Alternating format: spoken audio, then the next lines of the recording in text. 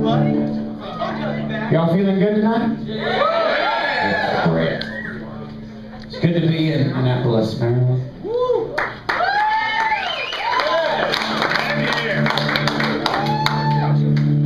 We're gonna play some rock and roll music, regardless of the fact that it's.